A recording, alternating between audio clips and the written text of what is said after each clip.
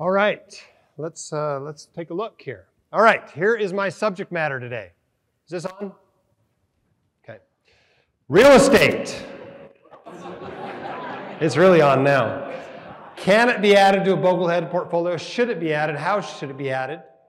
Let's talk about it. Something we don't talk about a lot. Uh, first, some disclosures.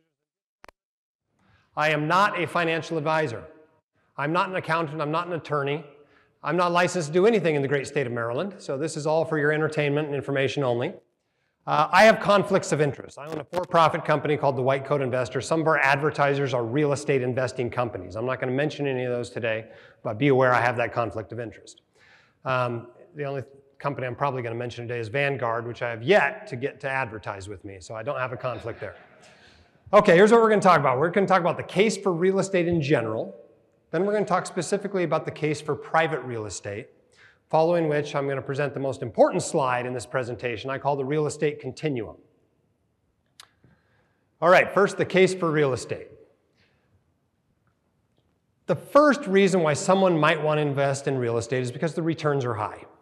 Okay? When you're building a portfolio, you want multiple high returning asset classes. Maybe you want some lower returning ones as well. So what are we talking about? We're talking about stocks, we're talking about real estate, we're talking about small business, maybe some speculative asset classes out there might have higher returns. But real estate returns in general are similar to stock returns, but are a little bit more easily leveraged. And once you leverage them, the returns tend to be higher. Second reason, low correlations. Okay, when building a portfolio, again, you want lower correlations between your asset class. If they're higher than about 0.8, you're not doing a lot of good adding that asset class at all. Correlations, of course, go from minus one up to one. Okay, and the lower, the better when it comes to building a portfolio. For example, between US and international stocks, it's anywhere from 0.5 to 0.94. With bonds, it's almost zero. With commodities, it is zero. Um, bonds to commodities actually have negative correlation. In comparison, comparing US stocks to US publicly traded real estate investment trusts, the correlation is about 0.45. And if you compare that to private real estate, it's as low as 0.17. That's a good reason to invest in the asset class. The third reason, real estate tends to be very inflation resistant. These are real assets. They tend to go up in value with inflation. Uh, the value of income, of course, income property is highly dependent on the rents that you are charging and collecting. And so as inflation rises and you can raise the rents, then that provides some inflation protection, at least in the long run. It's also easier to pay back fi fixed rate debt with inflated dollars. And if you have a bunch of low interest rate, fixed rate debt, like a lot of people right, do right now, and inflation goes up, that can be a really great place to be sitting in. Real estate also has relatively high cash flow. A higher percentage of your return tends to come from income than from capital gains. That's not always a good thing, especially if you don't need the income, but it can be useful for decumulation years and also for replacing earned income during the working years. Another great thing about real estate is that it's a little bit easier to add value. You're extremely unlikely to add value to your portfolio by studying and picking stocks. If you have not learned that yet, you will learn it this weekend. Um, but all real estate is local. And active management has the potential to work better with real estate than it does with stocks. You can also boost returns, AKA earn money, by doing the work yourself uh, when something needs to be done. That introduces some aspects of a second job, which a lot of people find not very attractive about real estate investing, um, but it is an opportunity to add some value. Another awesome thing about real estate are some tax advantages, which frankly are unfair there are unfair tax advantages. For example, if you sell your home and it's appreciated less than $250,000 since you've been in it, all that capital gain you don't have to pay capital gains taxes on. If you're married, it doubles. Depreciation. Basically, the government says your house is going to be worthless in 27 and a half years. The truth is, your house isn't going to be worthless in 27 and a half years. It's overly generous. You know, even for businesses, it's like 39 years. Still overly generous. That warehouse is not going to wear out completely in 39 years. And then when that depreciation is recaptured at a sale, it's only recaptured at 25%. For those of us in the highest tax brackets, that's a great deal. Take the break at 37%, pay it back at 25%. If you get real estate professional status, which admittedly is not all that easy to get, or you take advantage if you're doing short-term rentals, the short-term rental loophole, you can use passive losses to offset your earned income. I know doctors, high-powered surgeons, whose spouse qualifies as a real estate professional, who pay no taxes on their clinical income because of depreciation from rental properties. Mutual funds, unfortunately, can't pass through their capital losses, but a partnership investing in a real estate property can do so. Um, you know, those depreciation losses, they're really only losses on paper, but they can pass them through to you. Opportunity zone funds are another excellent way that real estate offers some tax advantages. Basically, allows you to pay less on capital gains that you get from that real estate. But the very most tax efficient way to invest in real estate is to invest directly in properties that you buy, depreciate, and exchange rather than sell into another property, a bigger property usually, and then depreciate some more, exchange it into a bigger property, and finally you die without ever selling anything. Well, if you never sell anything, you never pay capital gains taxes. Your heirs get the step up in basis at death. It's incredibly tax efficient. All that depreciation sheltered income, and then nobody ever pays the capital gains taxes. So that's one of the cases for real estate, are these unfair tax advantages. Okay, so we're talking about the case for overweighting real estate because most of you own real estate investment property whether you like it or not. Uh, the total stock market index at Vanguard uh, owns 3 to 4% real estate. 3 to 4% of it is composed of these private, publicly traded real estate investment trusts. Uh, however, 90% of real estate by do- dollar value is not publicly traded. It's not on the stock markets. Uh, it turns out investors only purchase about 22% of single family homes, and only 3% of those are purchased by large institutions. They're not on the markets. It's a completely separate economy from what we're investing in in Vanguard index funds.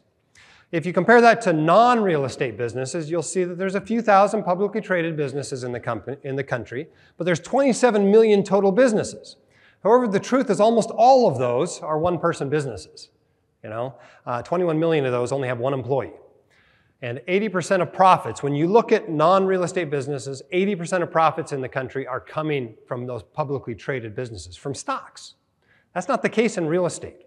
So the idea is that if you overweight real estate in your portfolio more than a total stock market index does, that's a little more representative of the real economy and real wealth in the country. Okay, so enough about real estate in general. Let's talk now about private real estate. Okay, what is the case for private real estate as compared to just investing in real estate investment trusts that are publicly traded on the stock market? Well, you still get high returns. They might not be higher returns, as we'll discuss momentarily. You get lower correlation and perhaps better risk adjusted returns. You may collect an illiquidity premium. You certainly should by theory. Whether you do or not is a different question you may get lower expenses. A lot of these, you know, there's a lot of regulation when you are publicly traded on the stock market. It costs a lot to comply with all those regulations. However, when you're involved in these smaller properties, syndications, et cetera, you can have those regulated according to Regulation D, which is a much lower barrier. That has its upsides and downsides. There's fewer regulators looking at it, but it costs less to comply with it. So you may have lower expenses in that regard. You're also often investing in smaller properties. You know, a, a duplex just isn't going to fit into a publicly traded REIT. It's too big. It needs to invest too much money. It's not going to buy the duplex down the street from you. That might not be the case with private real estate. It tends to be a less analyzed market, fewer people picking through it, fewer analysts looking at it. And of course, in these sorts of partnerships, or whether you own it directly, the depreciation is passed through right to your tax return.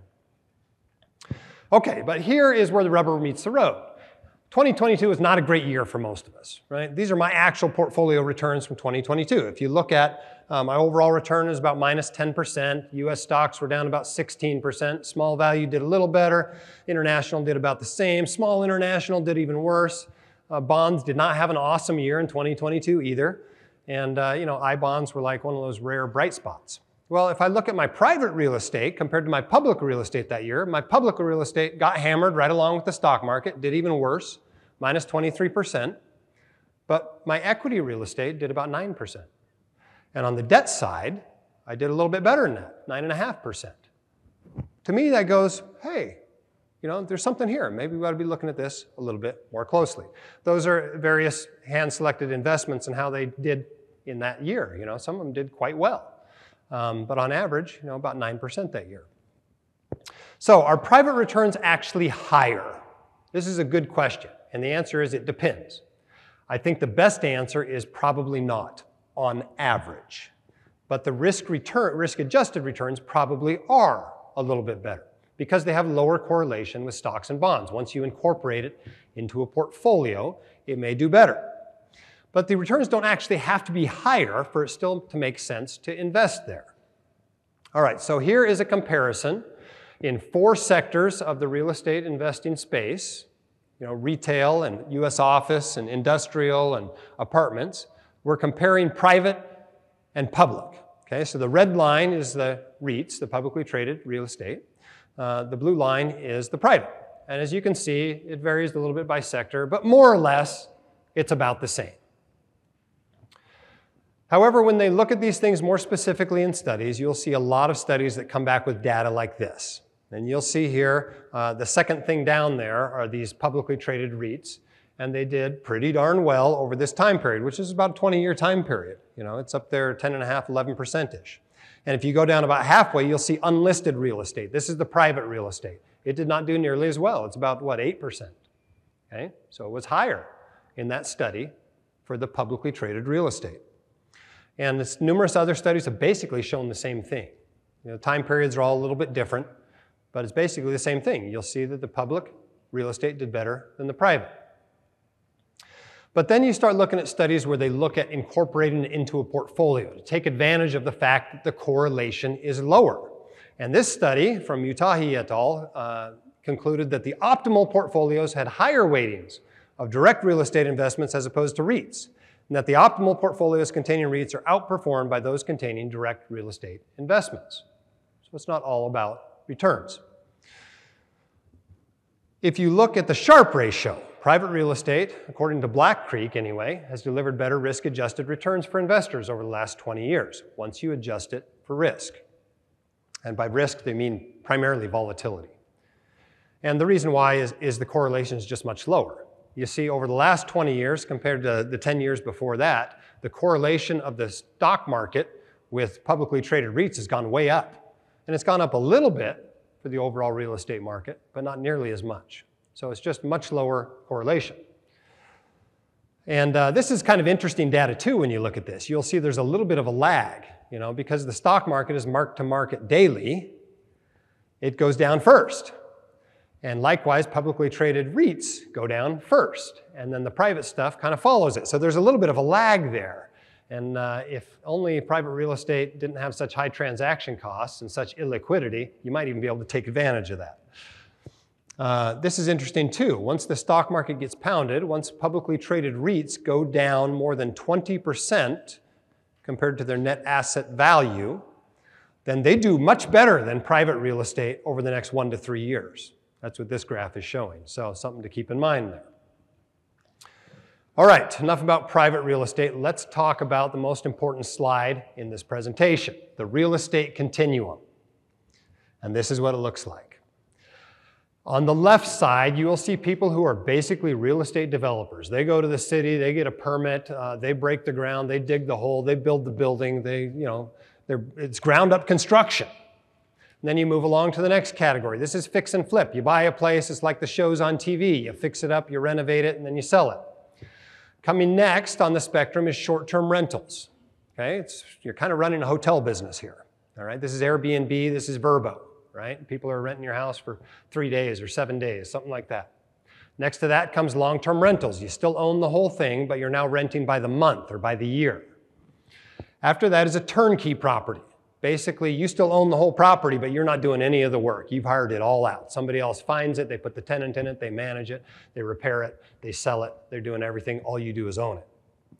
After that, we're getting into the more passive types of real estate investing. The next couple are available only to accredited investors, meaning an income of at least 200,000 for each of the last two years, 300,000 as a couple, or a million dollars in investable assets. We're talking about syndicated properties. So the idea here is 99 investors go in together and they buy a 200 door apartment complex because none of them can afford it on their own, number one. And number two, you get this, you know, uh, some sharing of expenses a little bit and you get professional management. None of those 99 investors are being called when the toilets clog. It's a passive investment to them. It's mailbox money that comes in every quarter. Um, but you own the property directly and it's a partnership, and so the depreciation is still passed to you. A private fund, often now structured as a REIT, even though it's still private, uh, is just you know 15 or 20 of these. You put 15 or 20 of these apartment buildings into one fund, and that's what a private fund is. And then, of course, at the far end are the publicly traded REITs that show up in your total stock market index. As you move from left to right along the spectrum, you will see that you will require less experience, you will have less hassle, you will get more diversification, and as a general rule, you'll get more liquidity. However, you're giving up control, you're giving up tax benefits, you are paying more layers of fees, and you probably, all of, if all of this is done well, have lower returns because of that. So there's not actually a right or wrong way to invest in real estate, but there is a right way and a wrong way for you to invest in real estate. You've got to match yourself up on that continuum with what makes sense to you. You know, if your goal is you hate your job and you want out as soon as you can and you'll do anything to do it, the answer might be building an empire of short term rentals. On the other hand, if you're like, I'm a retiree and I want to play golf for 12 hours a day and I don't want to do any of this real estate stuff, the right answer for you might be, well, I'll just take the real estate that's in the total stock market index. Or maybe I'll just add a little bit of the Vanguard REIT index fund, that sort of a thing. And everyone else has got to match themselves along that spectrum somewhere. Real estate, of course, is not mandatory. You already own it, whether you want to or not. Okay, so what we've talked about. Real estate, while optional, is a great asset class and often the first alternative that gets added to a portfolio. Uh, private real estate may not have higher returns than public real estate, but it does have some other advantages. There are lots of different ways to invest in real estate. You don't need, and you certainly don't want, to do all of them, I promise you. Make an honest assessment of what you want from your real estate investment before making it. Uh, but you can invest in real estate without getting toilet calls. It is not always a second job. If you look at that spectrum, all of our real estate investments, my wife and mine, are on the far right side of that spectrum. You know, some of them are private and some of them are public, but nobody calls us for toilets, I assure you. And uh, that is not the only way to invest in real estate. Real estate investing should not be a get rich quick scheme, but it can be a get rich quicker scheme. Okay? It's still going to take years, but using some hard work, some leverage, um, you actually can reach financial independence earlier, uh, most likely doing that. And of course, passive income is a gray term. It is often not nearly as passive as it looks. All right, thank you for your attention. Um, let me